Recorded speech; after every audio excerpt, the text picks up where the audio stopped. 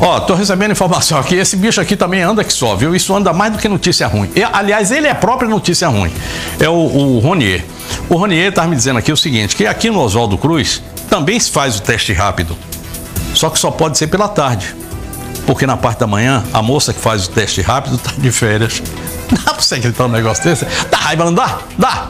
Não, tá, tá, tá pra cara. Ai, pelo amor de Deus, eu vou te contar um negócio, rapaz. Oh, oh, e a gente gasta uma grana, é imposto que não acaba mais nunca. Nunca mais eu botei um impostômetro. Ô, ô, ô, Michael, pega esse impostômetro, deixa ele aí no ponto. Uma hora você me diz assim, Léo, o impostômetro tá na tela. Só pra gente ver quanto já gastou agora em janeiro. Quanto a gente já pagou em janeiro. E quanto a gente vai pagar esse ano. Você vai ver o tamanho do, do, do, do não é fumo, não, gente. O nome é outro. O, o tamanho do, do, do, relho que vem nas nossas costas aí. Vocês vão ver. Daqui a pouco vai ter aqui o, o tal do imposto. Tá aqui na tela? Então tá. Aqui, ó. Sabe quanto nós pagamos até hoje? De 1 de janeiro até hoje, 1 de fevereiro, 235 bilhões de reais. Tem Rondônia aí? Não. Se tiver Rondônia, já busca aí pra mim, que eu gosto de ver quando bota Rondônia. Se tiver Porto Velho, bota também que eu gosto de ver esse negócio. Olha aí, Rondônia é embaixo, é aqui. Isso, vamos lá. Rondônia, nós já pagamos hoje 931 milhões de reais de imposto.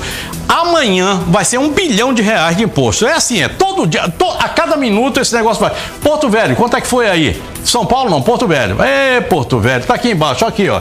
Joga aqui Porto Velho para mim. Porto Velho, nós já pagamos até hoje 40 milhões 251 mil 244 e não sei quantos centavos. Tá aí, ó. É a gente pagando dinheiro pra caramba. Tem Jaru aí também? Não. Se tiver Jaru, joga aqui pra mim, por favor. Tomara que tenha. Não, é, eu vou ter que ir lá pra Jaru, porque Jaru, você sabe como é que é, né? De vez em quando tem aqui também. Ah, não, aqui só tem capital. Só tem capital. É uma pena, uma pena. Mas uma hora dessa eu pego aqui. Eu vou pegar Jaru. Vou... Ah, tá aqui, tá aqui, tá aqui, ó. Joga aqui Rondônia, isso. Rondônia, isso. Agora joga aqui, Jaru. Jaru, sabe quanto o pessoal de Jaru já pagou até hoje? R$ 1 milhão 406 mil 772 reais e 68 centavos.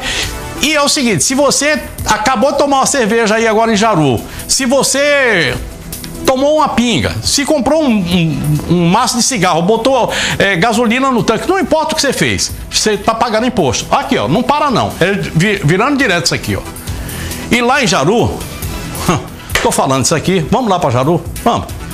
O problema lá em Jaru é o transporte escolar. Não pagaram o transporte escolar. Ou pelo menos o pessoal está dizendo que não pagou. Estão dizendo que atrasou as aulas por causa disso.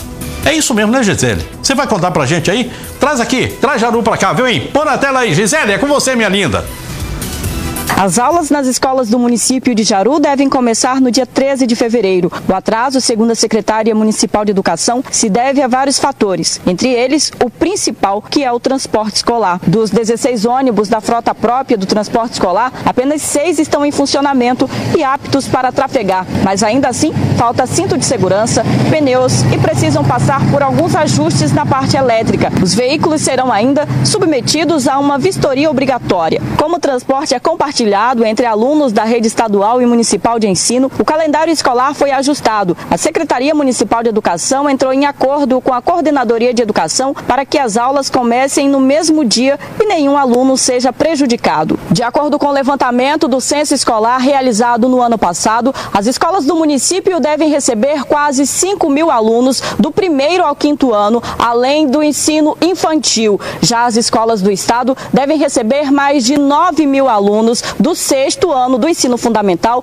ao terceiro ano do ensino médio, incluindo a educação indígena. Para atender toda essa demanda, as escolas passaram por revitalização. O município deve realizar um teste seletivo para a contratação de profissionais. O edital deve ser publicado depois do dia 6 de fevereiro no site oficial da Prefeitura e nos principais canais de comunicação. As vagas nas escolas também são motivo de preocupação. Já não tem mais vagas nas escolas Jean Carlos Muniz, Aldemir Lima Cantanhede e Abraão Rocha. Só há vagas disponíveis nas escolas Maria de Lourdes e Menésio de Victo e nas escolas de educação infantil.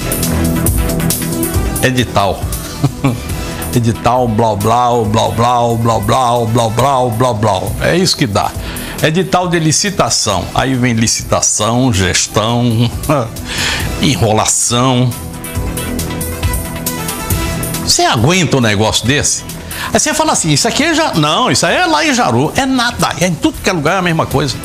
Tudo que é canto é a mesma coisa. E agora fizeram o seguinte: tira o Renan, que já devia ter sido retirado, e bota o Eunício, o rico. Eunício presta serviço. Eunício, senador da República. É lá do Ceará. Não é fácil não, o homem é rico.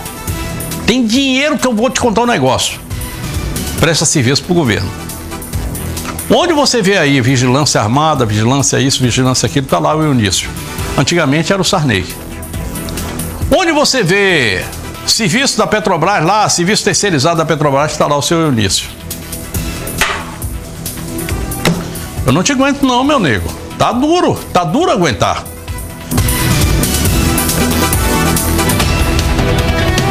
Cidade Alerta Rondônia. Oferecimento Romanel. Você é a joia. Romanel, o seu complemento.